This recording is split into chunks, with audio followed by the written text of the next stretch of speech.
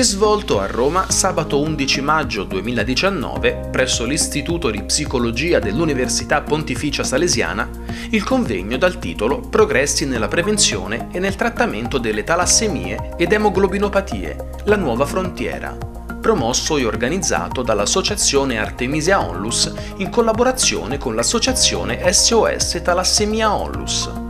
Il tavolo di confronto ha inteso rappresentare una interessante occasione di aggiornamento professionale per le realtà sanitarie del territorio, che quotidianamente sono chiamate a fornire ai pazienti orientamenti diagnostici, terapeutici e preventivi su patologie così articolate e complesse il convegno, con il coordinamento scientifico a cura del professor Antonio Amato, responsabile per la diagnostica emoglobinica Artemisia Lab, è stato aperto dai saluti del presidente di Artemisia Onlus, Maria Stella Giorlandino, insieme al generale Gennaro Vecchione, direttore generale del Dipartimento delle Informazioni per la Sicurezza, e Maurizio Marchionne, presidente di SOS Talassemia Onlus come associazione Onlus Artemisia, come presidente di tale associazione, la cosa che mi fa piacere è vedere che eh, siete molto sensibili a quelli che sono sempre gli argomenti più interessanti da poter dedicare un giusto tempo e una giusta formazione. Questo corso che è stato voluto dal professor Amato è un corso di microcitemie che riguarda un argomento molto molto oh, delicato dove noi come Artemisia Onlus ma anche come rete Artemisia Lab ci siamo dedicati per quello che è il supporto e l'organizzazione anche di nuovi test, no? vero professore? E il professor Amato che è stato assorbito all'interno della rete ha mm, messo a punto un diciamo, una procedura che rappresenta anche una velocizzazione per quella che è la diagnosi all'interno di tale metodiche. E questo corso con eh, persone di grande eccellenza mi dà grande gioia anche perché come sempre la Artemisia Onlus eh, è attiva nella formazione, eh, nel dedicarsi anche a quello che è poi un'attività eh, medica gratuita. No? Oggi tutte le strutture sono aperte per la giornata del PAP test dedicato alle donne. Però voglio togliere, eh, non voglio togliere tanto tempo a questa giornata così importante, mi farebbe piacere se eh, il generale Vecchione ci fa un piccolo saluto, a, parte che lo ringrazio di essere venuto e, e, ed è un'eccellenza per tutti noi avere in questo momento una persona così, eh, ritengo importante per la nostra sicurezza e tutto l'andamento anche del, del Paese. Generale passo la parola. Buongiorno a tutti. Difficile resistere a Maria Stella alle richieste perché è molto pressante, per cui cioè, non avevo alternative, no scherzo, ci sono venuto molto volentieri perché di una simpatia e poi soprattutto di una determinazione formidabile che rappresenta per noi un, un, credo un grande privilegio anche per il nostro paese, per la nostra comunità.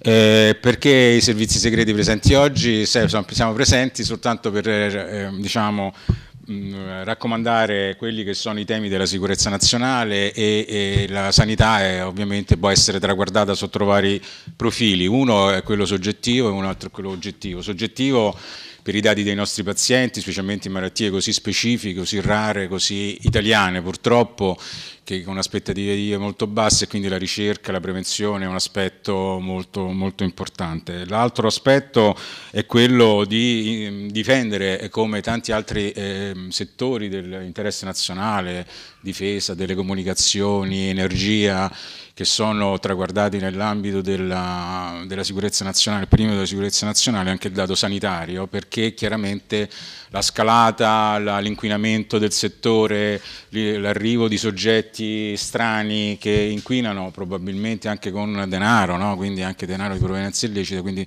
c'è un'attenzione sempre e comunque nel sistema paese anche e soprattutto eh, nei, nella fuga dei dati ma anche e soprattutto le sfiltrazioni di quelli che sono brevetti know-how delle nostre aziende dalla farmacia alla, alla, alla, diciamo, alla le attrezzature medico, medicali per, per, per, la cura di, di, varie malattie, per cui sotto questo profilo dobbiamo difendere il Made in Italy, Made in Italy che è fatto anche di giovani ricercatori che lavorano molto bene in Italia senza scappare all'estero. Io sono il presidente della Ollus SOS Talassemia che nasce dalle ceneri diciamo, del Centro Studi delle Microcitemie in Roma, che nel, fino al 2015 ha svolto l'azione che sicuramente voi conoscete di prevenzione, diagnosi e terapia nell'ambito delle emoglobinopatie.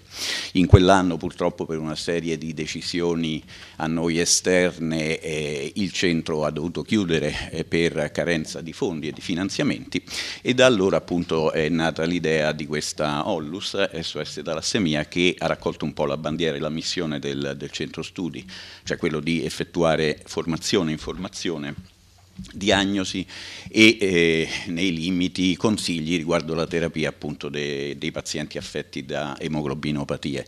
Eh, io ho collaborato direttamente per più di 15 anni all'interno della struttura in quello che è stato un po' il fiore all'occhiello della, della, prevenzione, vale a dire lo screening scolastico che per più di 30 anni ha individuato sul territorio i portatori sani, quindi riuscendo poi a sviluppare la nascita zero di malati di talassemia pandemia. Da allora, visto che appunto questa azione di prevenzione si è interrotta bruscamente, le cose sono tornate leggermente a peggiorare e si segnalano i primi casi di nascita di malati eh, di talassemia. Quindi all'epoca eh, ho avuto la fortuna eh, di conoscere la professoressa Silvestroni Bianco che mi ha eh, diciamo, onorato con la sua eh, stima mh, mm, fino a esserne il suo medico fino al momento della scomparsa. E devo dire che iniziative come queste mi, mi riscaldano un pochino il cuore perché vuol dire che c'è interesse ovviamente perché è un settore che è rimasto ai noi purtroppo scoperto di punti di riferimento precisi e quindi mh, è veramente importante. Io spero che la collaborazione con Artemisia Ollus eh, prosegua nella mh, maniera più efficace per poter appunto organizzare al meglio questo tipo di lavoro. Fare diagnosi di microcitemia o di difetto emoglobinico è estremamente importante, intanto perché i difetti emoglobinici sono molto diffusi, eh, si parla di circa il 7% della popolazione mondiale che è portatore di questo difetto. È importante perché il riconoscimento di un portatore sano di un difetto emoglobinico ci permette di impostare un discorso di prevenzione nel senso che la malattia l'abbiamo solo ed esclusivamente nel caso in cui entrambi i genitori siano portatori di difetti emoglobinici. Se riusciamo ad individuare un portatore sano sappiamo informarlo anche rispetto alle modalità preventive. Oggi la diagnostica emoglobinica è abbastanza complessa, i difetti riscontrati sono tantissimi, si parla di circa 2000 eh, diversi difetti genetici per i caratteri eh, emoglobinici e una diagnosi di base è estremamente importante in funzione della prevenzione ed ha un suo significato molto preciso, deve tenere presente tutta una serie di fattori a partire dal quadro ematologico, il metabolismo del ferro, lo studio emoglobinico, tutti insieme ci danno un quadro che noi possiamo interpretare in termini diagnostici riuscire a fare una diagnosi da questo punto di vista è estremamente importante. Noi eh, oggi possiamo disporre anche di alcuni servizi presso i centri Artemisia Lab che sono proprio predisposti a fare una diagnosi idonea per tutti i casi di sospetta microcitemia. La talassemia ha una sua storia dal punto di vista della cura, eh, c'è una terapia tradizionale che ormai è impostata così da molti anni e che ha portato ad una sopravvivenza del paziente in condizioni di vita abbastanza buone, con una vita media anche superiore ai 50 anni. E in ogni caso anche questi trattamenti convenzionali sono in miglioramento e stanno per essere introdotti dei nuovi farmaci che attualmente sono in fase di studio e che miglioreranno ulteriormente la, la vita di questi pazienti. A parte questo abbiamo la possibilità oggi di ottenere anche la guarigione da questa malattia. Una prima prassi abbastanza consolidata ormai da circa 20 anni è quella del trapianto di midollo, in cui si ottiene un successo a volte anche superiore al 90%.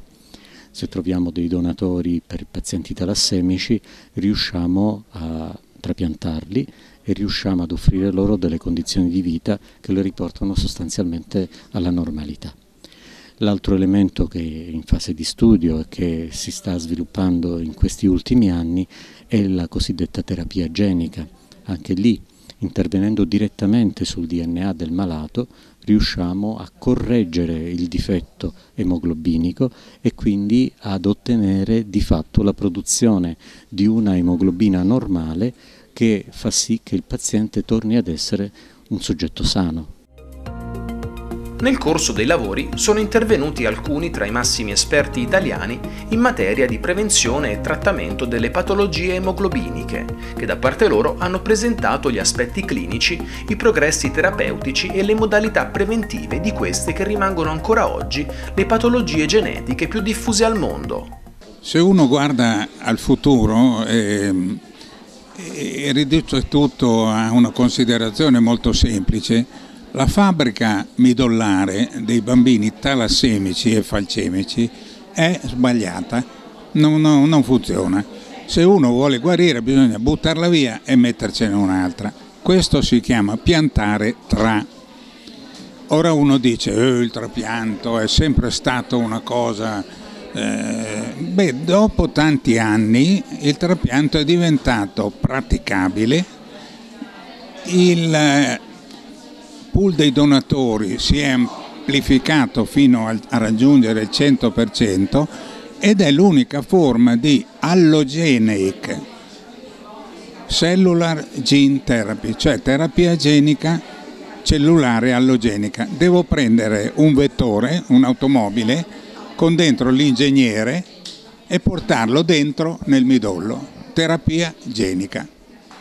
Questo oggi si può fare prendendo una macchina da fuori con l'ingegnere, domani posso prendere la, la cellula del paziente, mettermela in laboratorio, ficcarci dentro il, l'ingegnere, quindi eh, lo metto nella sua cellula ma lo faccio fuori e poi gliela rimetto dentro. Questa è una reinfusione autologa. Ora, quando sarà possibile fare tutto in maniera Mm, anche trasversalmente adeguata, costi, eh, centri e così via? Beh, dipende dalla volontà, ehm, odio questa parola, ma lo devo dire, la volontà politica di capire che o fai un progetto di guarigione o no, è tutto lì. Se lo fai all'inizio è molto costoso, poi pian piano diventa autoremunerativo perché costa molto curare questi bambini in genere. Poi c'è un altro fatto molto semplice, eh, che non, non, non dovrebbe venire a galla, nella, ma comunque sotto sotto c'è. Quanti sono i bambini talassemici, talassemici in Italia? 7.000, c'è scritto nel dépliant per esempio. Beh vabbè ragazzi è una malattia rara, su 7.000, eh, non è che devo fare un decreto legge. Già questa è una bestemmia, però prima di tutto ti diventeranno 70.000 presto, perché quando c'è la migrazione, la migrazione significa che ci sono delle persone che camminano sui loro piedi e vanno da là a lì. Ecco, però con loro portano i loro geni, quindi c'è una migrazione genica. Se la popolazione che ti viene ha una probabilità di avere il gene sbagliato eh, ti aumenta la malattia entro pochi anni e già sta aumentando, quindi diventerà un problema tuo. Ma perché non si deve considerare che è un problema mondiale? Allora uno dice, ma te che te ne frega di un problema mondiale? Ragazzi, io sono italiano, sono un dinosauro della ematologia italiana e molto patriottico e mi dava un gran gusto che la bandierina del progresso che si piantava in tutti i posti nel mondo fosse italiana. Questa veniva dall'Istituto Mediterraneo di Ematologia che è stato soppresso e adesso ritorno a fare il dinosauro. Nel, nella popolazione di bambini talassemici molto giovani ha una probabilità di successo, sia di guarigione, che è intorno al 90%, quindi è una possibilità estremamente alta. Ci sono dei risultati che sono risultati anche ottimi usando un donatore compatibile da banca. quando si deve usare un donatore HLA non identico, per, per, per intenderci, se non si trova se un donatore rosso con rosso e bisogna usare un donatore verde quando il ricevente è rosso, questo è il concetto del trapianto aploidentico, ossia non identico, è quello che noi stiamo studiando adesso e quello che stiamo portando avanti da circa, da circa, da, da circa 15 anni, la possibilità di guarigione è intorno al 60-65%. Chiaramente sono dei risultati che devono essere perfezionati, si devono migliorare, ma con la ricerca e con l'evoluzione clinica credo che sono dei risultati sicuramente raggiungibili. Il, in Italia ci sono delle grandissime eccellenze, soprattutto nel mondo soprattutto e anche nel mondo dell'ematologia. Ci sono gruppi italiani che hanno fatto scuola a livello internazionale, gruppi italiani che sono stati considerati dei pionieri sia del trapianto che sia della cura delle malattie ematologiche. Parlo di malattie ematologiche in quanto è il mio campo di applicazione. In Italia c'è un altissimo livello, c'è un altissimo livello scientifico. Non, non, abbiamo nulla da invidiare agli altri paesi europei in quanto professionalità e livello scientifico che abbiamo raggiunto.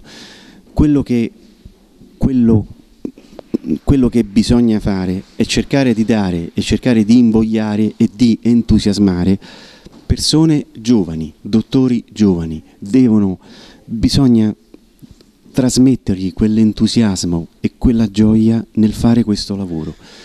Questo penso che in Italia dobbiamo essere, dobbiamo essere possiamo essere perfezionabili.